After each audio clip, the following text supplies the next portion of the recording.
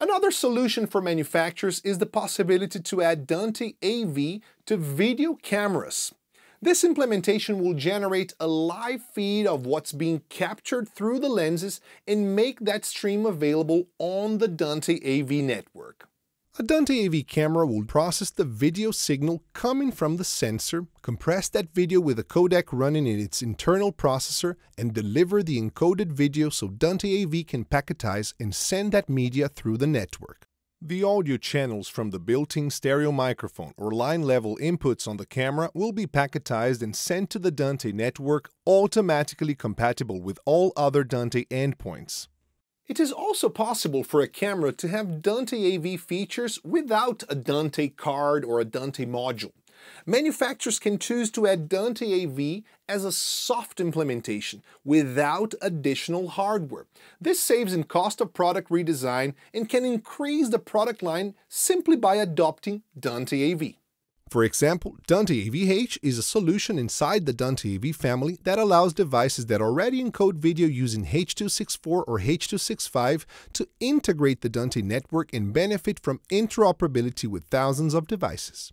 So far, there are two different solutions within the Dante AV family. Dante AV-H for H.264X devices and Dante AV Ultra for high-resolution video. With the lower bandwidth codec, H.264 and H.265, Dante AV-H video won't impact your network and still deliver a very good quality image. For professional broadcasters and live event applications where there will be multiple teams working with the same video feed and quality cannot be compromised, we offer Dante AV Ultra as the top end of our Dante AV family. As this is an ongoing evolving course, please check the current Dante AV codecs and their features. In the same way as audio devices must match the sample rate to be able to subscribe to each other channels, for video, it's the codec that matters. The Dante AV network support multiple codecs. It is perfectly possible to have multiple connections within a Dante AV network, each of them working with a different codec. If transmitter and receiver run the same codec, they will be able to communicate. Dante Studio, for example, supports multiple codecs. In this network, we have Dante AV Ultra devices running with a JPEG 2000 codec and Dante AV-H devices running with a H.264 codec. You can use the filters in Dante Controller to narrow your choice and display only matching codec devices.